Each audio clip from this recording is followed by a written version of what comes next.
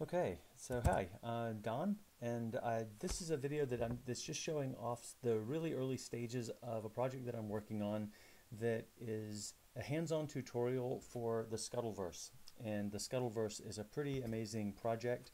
Uh, I'm not going to get into what it is. There will be links in the description, but I suspect if you're watching this, you probably already know what Secure Scuttlebutt is, and this is just around uh, the work that I'm doing to set up this environment. Um, but yeah, but highly, if you don't know what it is, I should, I would highly encourage you to go check it out. So I'm, so what I'll do in this video is really just walk through kind of the setup and, and how and why I've set things up this way.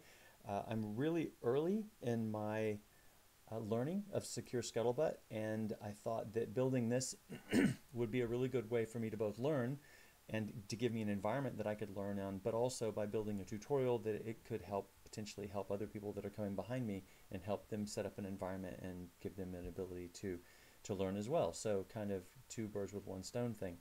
Um, so yeah, so what I'll do, uh, this is this is the repo, and this is uh, the repo. I've already cloned it down. Now this, uh, the goal for this, is, like I said, is to create a laboratory. I want to create a laboratory where I have multiple peers on an isolated network that I can poke and prod and debug and, and do things with so that I can learn at the code level what Secure Scuttlebutt's doing.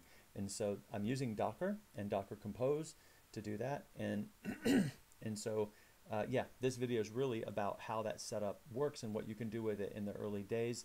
Uh, and this is really for people who probably already know a bit about Secure Scuttlebutt uh, and don't want to go through all the steps of the tutorial, uh, but rather just want to see what's possible and what's capable. And, I, and this is also just for me to remind myself how I've set it up and why and all that good stuff. So uh, this is where we currently are. You can see I don't have any uh, containers. So if I PSA, you can see I don't have any current uh, containers, Docker containers, and I don't I only have one image, which is the, the basic node 6.9 image. I, that's only just going to save us a bit of time. So that you can tell from the tutorial, the first step is to run docker compose up, and that's going to download, hopefully this won't take too long, but this is going to download an image that I've that I uh, that's part of this project. While this is downloading and installing, I can actually pop over and show you on, on Docker Hub. This is the place where the automated builds happen of this Docker file, and I've done a few already. Uh, but every time I push to the GitHub repo here, the, the, the Docker image that's downloaded from here gets rebuilt each time, which is quite handy because every time I make a change, uh, even, even though I'm really not changing the Docker file very much at this point. It still gets rebuilt every time, which is, which is nice. And so if we pop back over to here, this is still downloading. Um, I can talk a little bit about a little bit about the the project, but actually it looks like it's about finished. So it should it's extracting. So this is bringing down um, this this image and downloading it, and it's really just a um, this image is built off of, as we can, we can just tell from here, it's built off of the the Node 6.9 image. So that's the image I already had installed. So it didn't have to download anything in this image and it's only just making these changes and we'll we can have a look at, at this in a moment. But if we pop back over here, it looks like, oh, so not only has it downloaded the image, but it's also spun it up. So it's actually created the, it's created the new the containers, three new containers for these, and it's starting them up. So it's now attaching to those, each of these three containers are called pub, user one and user two, and the, the, the thinking being that we'll, we could uh, have one pub and then two users and we can create following relationships and we can basically set it up however we feel like we need to. And you can see that we're already, we've already connected to those. So that's pretty handy. So I'm going to go ahead and cancel that. I'm just going to close it so these will stop and I'll run it over here so that we can actually just have it running. But I thought what we could do is use this window over here to run to run the containers, use this one to go into the container so that we can poke and prod them, and we'll use this window to look at some code. So I'll go ahead and just do the same thing that this just did. Because the container's already started, the, the images are already downloaded, it just spins them up really fast. And so we'll pop over here, and I guess the first thing to look at is the, well, maybe the fact that we can actually go into these. So we have the containers running in this window. Down here, I can, I've written this little script, and I'll just have a look at it, just show it to you. It's pretty simple. Um, this little script just does a docker exec uh, interactive on whatever I send to it. So if I put pub as the, the container that I want to go into, it'll run bin bash on that pub, and boom, you can see here that we're root in pub. So now we're on the command line inside of inside of just that one container. So we have three containers running, three machines running, and we're on the inside of this one. And it drops us into this Scuttlebot folder, which is the uh, which is Scuttlebot, which it's actually it'd probably be helpful if we just looked over here and looked at the Docker file. And you can see that what the Docker file does after it downloads this image is it does a clone on Scuttlebot.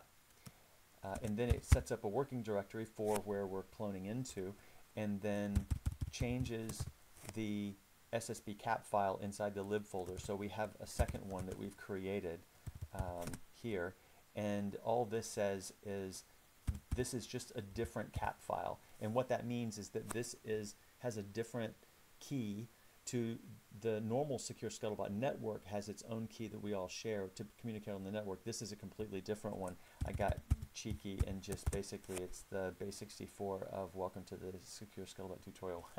So this so these machines are running on a, effectively a, a separate network. And so that's what that's what that does. Uh, and then we set up a couple of servers. You can see over here there's a debug server and a run server script, and those will be run based on how we want to, how we run the environment up here, and I'll, I'll get into that in a second. After that, it just does an npm install, and I don't know why I haven't dived into this yet, but it seems like I have to do two npm installs. Something, maybe it's with LevelDB, I can't remember, but for some reason I have to do it twice because I found out that once I got into here, if I ran npm install again, it fixed the problem that I was having in the beginning, but I'll look into that later. Okay, so that's the Docker file. While we're looking at this, we may as well go ahead and have a look at the, the Docker Compose. Uh, this is the file that uses this image, we are using the same exact image three times. So all three of these peers are identical, uh, well, with the exception of a few things. Uh, I've changed their host name. I've changed their container name. As you can see, they're using the same image. And the command that's run by default, I base it on whether there is a, a pub action environment variable. Uh, if there isn't, then it just uses run, which causes run server to run, which is exactly what all three of these containers are doing now, is they've just done run server. But if I set up pub action as an environment variable and set it to say debug, then it'll run debug server, and we'll look at that in a minute. I set up some environment variables. These environment variables are available over here, and you can see that if I just, if I echo uh, ssb config, this is just making it easier for me to run uh, the bin.js. Uh, so it's just, as we'll see in a minute, this is just setting up, um, yeah, it's just setting it up to be easier. I have all three running on port 8118, and so because and because they're all running on the same port and they're on the same network, that's why they've automatically connected to each other, which is uh, yeah, which was quite handy. Uh, I have a, the server ports are all the same, but the debug ports are all different because we may want to debug these independently or actually at the same time. We may want to debug the server in pub at the same time we want to debug the server for user one and then see what that looks like. Uh, and we can do that. Uh, and then set up the host. The nice thing about the way I've set this up is because you would expect that we're going to be building, we're going to be rebuilding these containers all the time, uh, we won't we don't want to have to rebuild the keys every time. And so what I've done is I've set up a volume so that in our main folder here I can I can see here that I have this pub user 1 and user 2 and if I come over here and do uh, L on shared we get the same thing whoops now that we've created those that's not going to look so good so yeah, that's not going to look good either.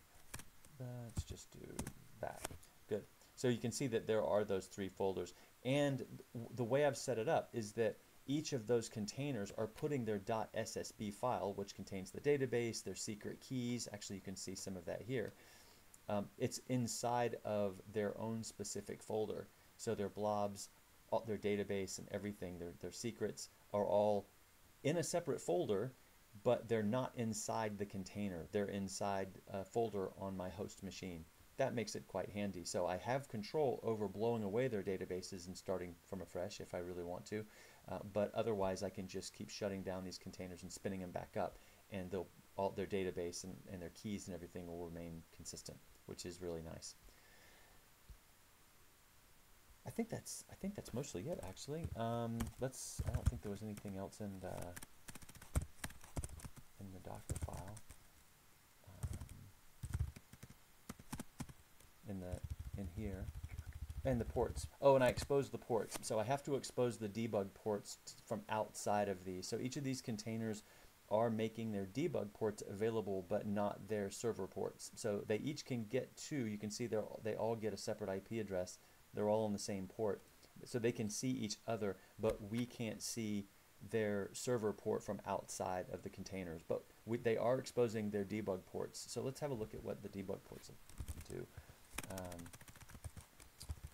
close that.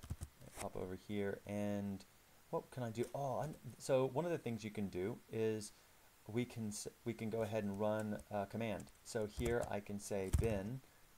Oh, I'm not in the folder. Let's go back to Scuttlebot, and we can.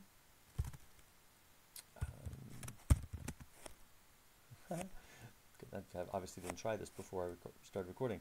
So uh, from here we can do a bin, and I'm going to use this uh, SSB config just so that I don't have to type in the port that the, because we're using atypical ports we have to choose the port number and and you can see the uh, in the folder for where the path is so that it will know that we're, that we're talking to the right server. And that and what do I want to do? How about a actually I probably should have done this here. Who am I? And that and we'll just pipe that to shared put it on id.json. And so I'm taking a who am I and I'm pipe, I'm pushing it into a file, a new file. Oops, that's not going to work. We want this to go into we're under pub. So we want to put pub's ID into the pub folder of shared, and we can do that. And if we pop over here and look at shared pub, we can see that the ID JSON's there. And I've written a little script just to make it easier. So if I do uh, a copy here? No, it's not. It is here. So if, if over here, we're in our root folder and I do a copy, um, copy, uh, SSH copy ID. Is that the one? I can't remember the name of the file now. It is copy ID of. So if I copy ID of and I say pub, it will auto, I have JQ and xclip installed and I've just written a little script that that puts uh, you can see uh, we'll just do a copy ID of uh, we'll just look at that real quick but what all it all it does is it's just a little shell script that goes into the shared folder of pub grabs the ID runs it through JQ and then runs xclip on it so that we can pull out just the ID I felt this was something that we probably would end up doing a lot of. So on the host machine there's just a little script that will that will go ahead and put this that'll put that on the clipboard. So that makes it makes it quite easy. Um, okay, good. Let's let's do this. I'm going to exit out of that of that terminal. I'm going to close down each of the containers, and this time I'm going to turn on debugging for user one. So we'll run the other two the other two servers normally, and we'll. I don't think I need to do anything over over here, but over here I'm going to say user one uh, action equals debug, and then I'm going to docker compose up. And this time you'll see that it's just going to start pub and user 2 normally, but it's going to recreate user 1, and that's because it's now going to run the debug server. And actually over here, I can uh, show you run and debug server. And these are pretty straightforward. They're really just, um, so this is being run as the main command inside the, the, the server. So this is running the server command. and it's running it with the right path and with the right host. But the difference is debug is also setting up double dash inspect, which is available in the later versions of V V8, and setting up the, the debug port with debug break. So it'll break on the very first line of code. And yeah, and that's just running server here with the right um, the right port. So that's what that's what that's doing. And now, if what you'll notice is up here, when we ran user one, it's actually going to spit out this URL because of this inspect on on 91 or 90, 92, 29, I think it is. And I can copy this to my clipboard and then pop over to here, paste in the URL into Chrome, has to be Chrome, and you'll notice that we're broken on a breakpoint. So we're broken on the first line of code in the server. And I can pop down and say set a breakpoint here and run it to the breakpoint. And as we do that, we'll see as we as we run more code and more of these modules get loaded, uh, it's loading more and more of the of the node modules. So if we say run it down to this this has run server, so we should run into some of this stuff. Let's run it down to here. And now you can see that even more even more code's available to us. So it, it does it's unfortunate that the code won't find its way into the debugger until it's been loaded and, and parsed uh, because it'd be nice to be able to set a breakpoint ahead of time, but it's not too bad. I mean, of course you can start stepping into code here and start stepping over code and really just getting a sense of of what the code's doing, um, you know, through normal debugging, which I find really, really helpful uh, to be able to understand a code base and to be able to step through it like this. Really, uh, the metaphor I use, it really turns the lights on so you can see everything going on. Now, I'm still struggling personally a little bit with all of this pull stream stuff and all of the drains and the sources and, and the way that that processes is still it's still a bit much uh, where I am in my learning of this stuff, but this debugging is certainly helping. And so being able to set breakpoints and step through the call stack and so forth really, really helps. So yeah, so that's part of why I've set this up. And the goal is for each of these, for as you go through the tutorial and you're copying the feeds and you can follow feeds and you can see things. So far the tutorial only has things that you're just doing on the command line, but ultimately we'll be writing code, we'll be uh, publishing code, pushing code into the containers and running it, and then running code from the outside. Maybe I'll expose the ports, and uh, and so that we can actually um, hit them with clients that are sitting outside the container. That would be interesting.